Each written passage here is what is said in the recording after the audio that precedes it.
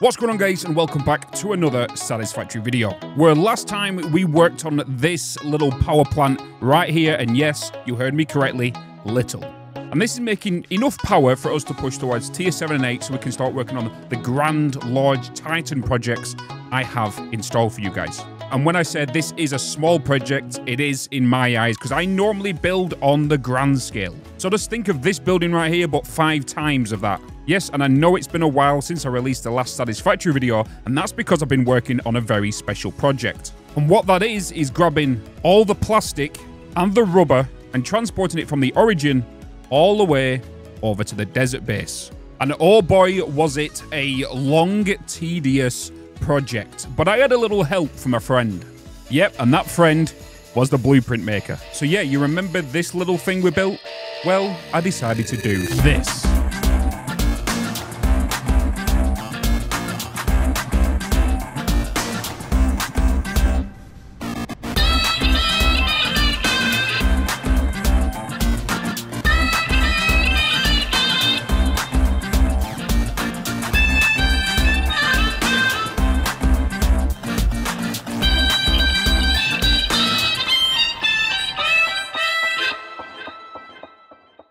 So yeah, I ended up doing that. But also, this save is now available for you guys to download. Obviously, it's a work in progress. There's a lot of inconsistencies, but go in there, see if it can run on your PC, and see if you can get any ideas. And how to get that is you just go into the description below, give my Discord link a click, you'll be presented with these three rooms right here. Obviously, make sure to read the rules and go into choose your role section and then choose what categories you would like to see within Discord to customize your experience. But to find my save, you're going to need to click on the melon, which is going to give you my, my category, so anything to do with my YouTube, Twitter, all that kind of stuff and then just go down and click on satisfactory save. And then by the time this video goes out, there will be a file in here, and all you need to do is just click the download button. Once that's done, press the Windows and R key on your keyboard. This will come up down here and just type in this percentage local app data. And then this window will come up. Just scroll down, look for factory game, click on that,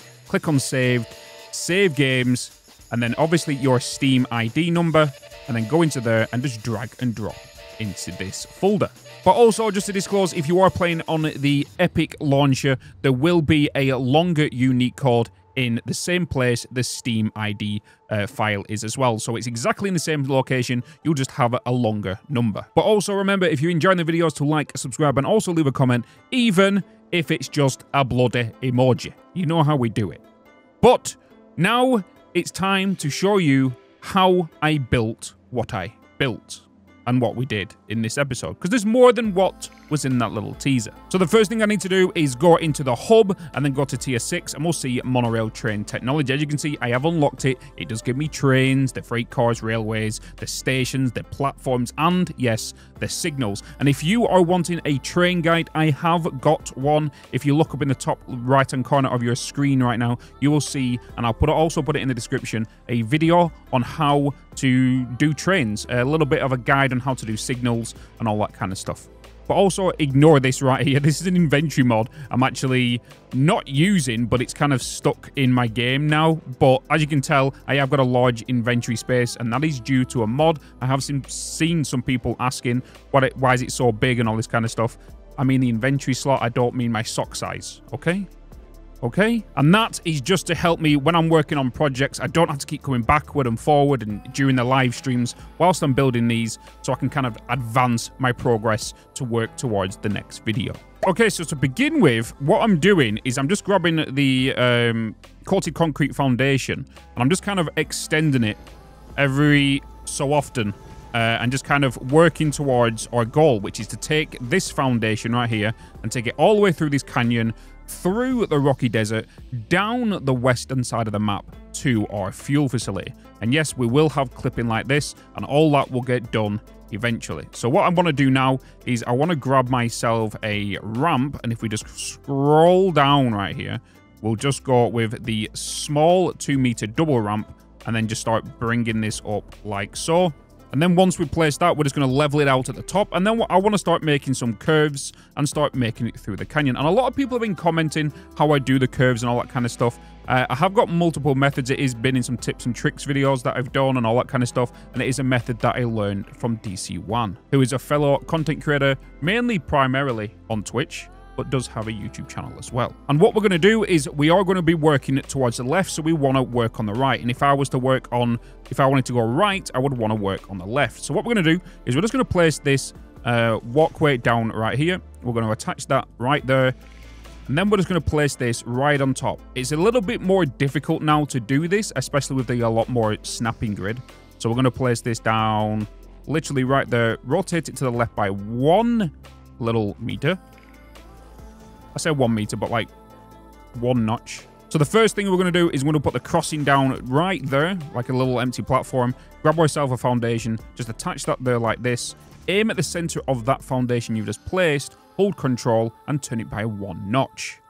Place that down, grab yourself this crossing, bring it over to this corner, place, grab yourself the foundation again, and attach that to there. So the top right hand corner of the foundation aligns with the edge of the walkway place that down, delete these two right here, delete this one, and then grab this foundation and place it directly underneath like that.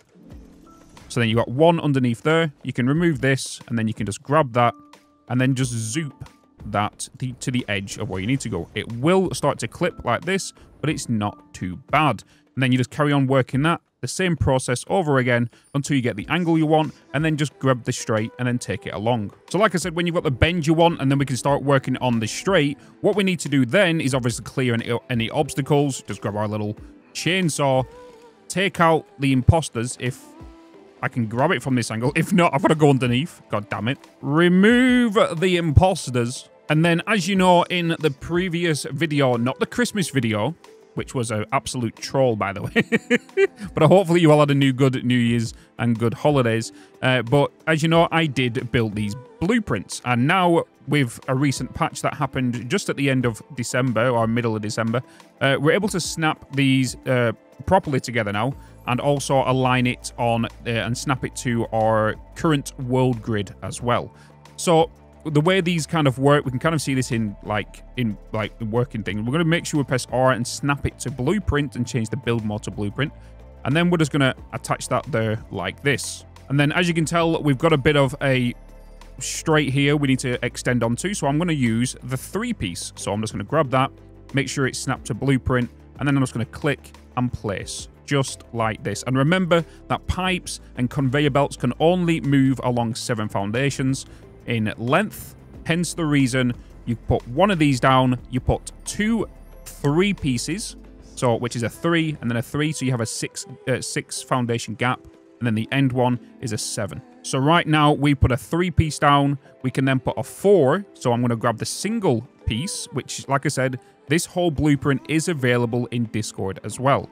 And then we're just going to grab ourselves a um, support beam, like right here.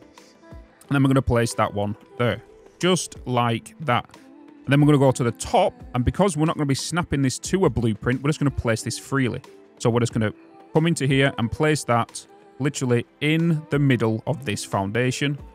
It snaps to the end, snaps to the end here. But as you can see, because we are on a bend now, this is starting to encroach onto this line right here. But do not worry. All we need to do is grab the support again but aim at this foundation, keep on this line right here, and you can see on the left-hand side, it's encroaching onto the other pillar, which is totally fine. You just place that one there. Then you go down here, you do the same one with this line, and you do the same with this line, and until it comes and you can see how this one is not encroaching anymore. So if I place that there, we can see we have a bend in the highway. It works as well upstairs with the things. Everything is not clipping or attaching to each other. Uh, and we have a small turn. So we just kind of need to work through that. And then what we need to do is on this end, we're just going to grab ourselves our three-piece piece. Three-piece piece? That kind of works, right? Aim at that side and then place one and then two, and then we do another support. So every of the three pieces, we do a support, and then we just snap that one to there and then so on and so forth. And just to give you a bit of visual representation why, is because when we go to do the belts, which I have got belts inside of here, but because we don't know the direction we're taking them yet, they will reach perfectly to the next snapping point. Any further, they will not be able to be placed because, you know, the length of the belt's too long. It's the same with the pipe as well. If I was to get a pipe, go into logistics, grab myself a pipe, and then place that there to there, you can see it won't attach to that one, but because that one is perfect distance away from the other support, it will attach and you can take your pipes where you need to go. Pipes are bi-directional. Obviously, belts aren't bi-directional. Um, so really you don't want to place the belts yet because I don't know which direction I'm going to be taking these belts. Am I going to be taking stuff from, you know, a future project that I might want to attach onto this and send that way and all that kind of stuff? So yeah, that's how we're going to do it. And we're just going to take this whole highway and continue building this because this is going to be where any trucks might come on. Not right now, but in the future, I might have a building right there that might have a truck that comes out here and goes to the end of the canyon. Who knows? The world is our oyster. And after many, many, many, many hours, you can see that I've took it all the way over to the Rocky Desert. As of now, and I managed to get to this location, but I keep running out of items, so I'm having to like travel back and going backward and forward, even with my inventory size. And if I'm not mistaken, by the time I got to this point, this was like day number two. I've already spent, this was like on the 15th hour of placing all of this down, making the curves, and making this for you guys. But you can see I've already kind of placed the base foundation where the trucks will be, and all I need to do is just place down the blueprints of, you know, the uh, the highway. But also, I do want to apologize to those that are watching on my second channel, the behind the scenes of how I do all this. You can see that I do make this live. I do make this vanilla, uh, and you can see all of that on my second channel. Uh, the previous videos have not gone up because YouTube are taking so long to render them to 1080p for some reason. I am working with it and I have contacted YouTube and hopefully that gets sorted as soon as possible. Okay, so I've just gone back to base and I'm just literally grabbing some supplies for to finish off the highway. But I thought, let's place a foundation down here, which I have done. And I want to literally grab our train station. I want to put this down now um, so I can get back and forward with my supplies, um, you know, and kind of work on it. So what I want to do is I'm going to kind of place these this train station like down here. And then I want to add uh, two, uh, no, three freight platforms, sorry. We want three because, and I want to flip this uh, that way so it's facing my storage. And we want one, two, and three. So, because we are going to be working on the project assembly parts, which you can see up in the top right hand corner now, we need to complete phase three. So we have three items, but one of them items requires our heavy modular frames. So what I need to do is I need to make a train station here well, to be precise, down here at the side of it, which is going to grab my heavy modular frames, take it along this river here, and then make its way through the northern forest, and then attach itself onto a junction onto the highway, as you can see there. And inside the fuel station at the Golden Coast, I'm going to put down a train stop right here, which will be picking up the plastic and the rubber. But this station's only going to be picking up two items, so it's only going to need two stations. But also, I do need to state that at this station here, at the heavy modular frame, we'll have two empty platforms and a freight station. And that's because at this station right here, we want to dedicate this one to like rubber or plastic, this one to rubber or plastic, and this one to heavy modular frames. So we need to do this exact same station over at the heavy modular frame factory. It's just that these two will actually be empty platforms at that one, so then we know that the train coming in will only deliver to this station right here, which will deliver heavy modular frames. Where the other um, station, which will be at the uh, Spire, Co Spire Ghost, the Golden Coast will only have two, because the train car will be at the front here, it'll have a freight uh, cart here, and a freight cart there. Where the one at the heavy modular frames will have a train, which uh, we are locomotive that stops here, empty cart, empty cart, and then the heavy modular frames. So it will be the longest train, but only bringing in one item.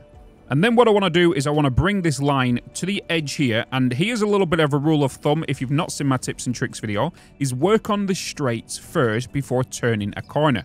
So as you can see, we are about to turn this smooth corner right here. Let's find our first straight piece which is going to be right there. Place that on the edge and take this along like so. And place that to the edge. Always place it to the edge of a foundation or to the half of a foundation. Never place it in middle of them. Otherwise, you can start getting some wonky turns or anything like that. And then what we want to do is grab ourselves our at the corner and then just take it all the way around just like that and it will snap on and you get a nice smooth turn with your corners. Otherwise, what could happen is if you, if you bring that corner in and you don't have this straight already here, what could happen is we place that down there. You can place this down right here and you've got to try and estimate where this straight is, right? So you can take this around. From my knowledge and my experience, I know it needs to go here. But for example, you might place it here, for example, right? So then I'm going to go from here and then I'm going to start placing this straight. But look what happens now is I go to place this down here. This will then become wonky.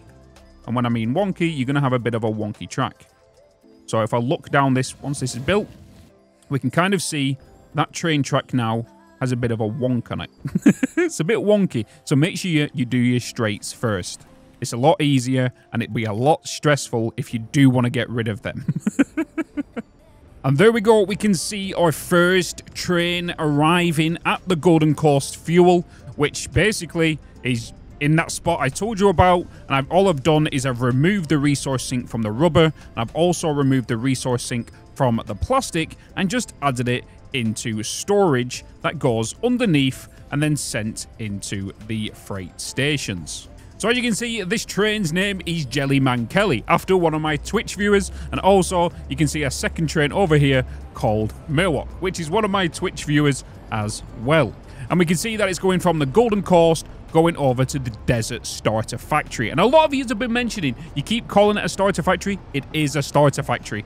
My main and end game starts when I've unlocked tier 7 and 8 and I start working on the big projects because everything up to then will normally get deleted. So as you can tell, the trains are now passing each other literally near enough 50% away through. And how I've worked that out or done that is when I set up the uh, automation one train, so let's say he set off from the Golden Coast and started working his way this way. When he left the Golden Coast station, I got this train that was going to be over here. I set that on its path in as well. So by the time that one gets to this station, the train that was originally starting from here should be arriving at the Golden Coast, keeping a nice optimal flow. Also, in case anyone comments, these uh, exclamation marks and this one right here is just tractors without any fuel because that's my Christmas factory, which I guess I will have to show you at some point, right? Maybe next year? but now you must be wondering, Bitz, you've got trains on, you've got two trains on the line. You're going to have collision problems. Well, yes, because I've not placed any signs down. And then what we need for signs is just the block signals. We don't have any crazy four-way junctions or anything like that for the path signals to be introduced, we don't really need to touch them. So we're just going to use the standard block signals, and all we need is just the steel pipes, the copper sheets, and the circuit boards. But one thing I need to do here is I need to be pretty quick, because as soon as I put this block signal down, what it's going to do is the train that is going to be on this line, well, if I put this here, and if I was to put this train right, uh, well, sorry, that one right there, what's going to happen now is this train is not going to move forward because is if I pull out another sign, this train is in, this is a red line. And that's in a red line, well, sorry, that's in an orange line, which means the train that's on its way here now is also on a red line. So that train is permanently stuck until we create another block. Hence, please go and watch my train tutorial if you want to visually understand what I mean and make it a little bit easier for you.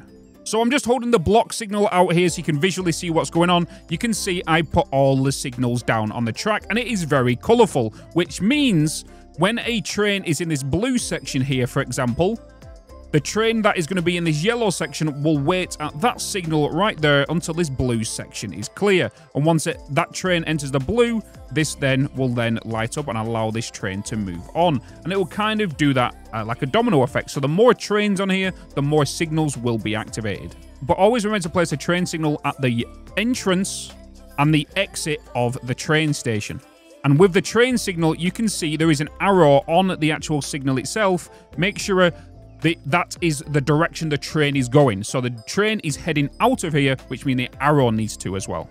Okay, so the next thing I've done is I've now completed the train line for my heavy modular frame factory. And like I said before, it comes down here into this junction to, you know, head over to where it needs to, which is the starter base. But I had a little bit of a fun little incident that happened kind of on stream because I've been using a, a, little train that I've been putting down for my own personal use so I can kind of travel with some items to you know, other locations, but take a look at this clip that happened. And just to give you a bit of context, the train that comes from up there to down here from the Heavy Modular Frame Factory is a bit of a speedy boy.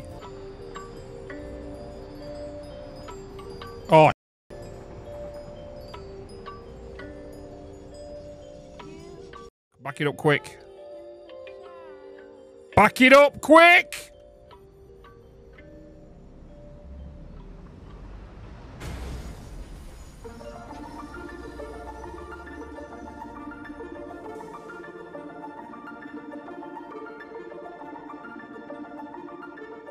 And with that out the way, there was one final thing that we needed to add to this highway, which I asked and requested you guys to post your blueprints into the Discord to share with myself so I can go through them and I will choose one for your, well, for you to actually have your blueprint in this save. So we decided to go with this one. This was made by Sean. I will make sure I uh, put that into the blueprint section uh, along with my highway stuff. Um, the only thing that uh, happened was uh, when he put it in, the actual colours was not there. Uh, so I added these pillars uh, just to give it a bit the orange and the orange signs here as well. So it kind of matches the whole thing. So GG Sean, thank you for your blueprint.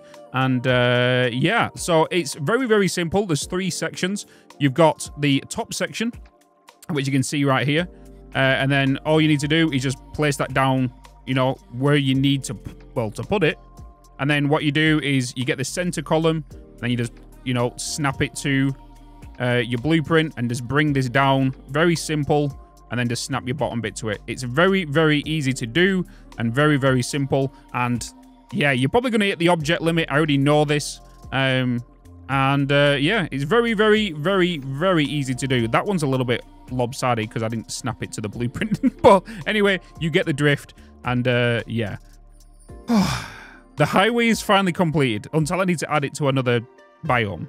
That's later down the line. So yeah, that happened. And the main reason we wanted to bring all of this over here was to work on the project assembly part. So I'm going to get your hand and I want you to follow me over here. Because obviously I've been working and doing a bit of stuff up here. As you can tell, we've obviously we made the computers and the uh, the uh, circuit boards and all that kind of stuff. But there's two new manufacturers, and these manufacturers are making the adaptive control units and they're making the modular engines. And all I've done is literally everything is going into my storage. And all I've done is just go, if we go underneath, I've just diverted stuff off from the storage or stuff off uh, that was on the floor already up here which was majority of like most advanced materials.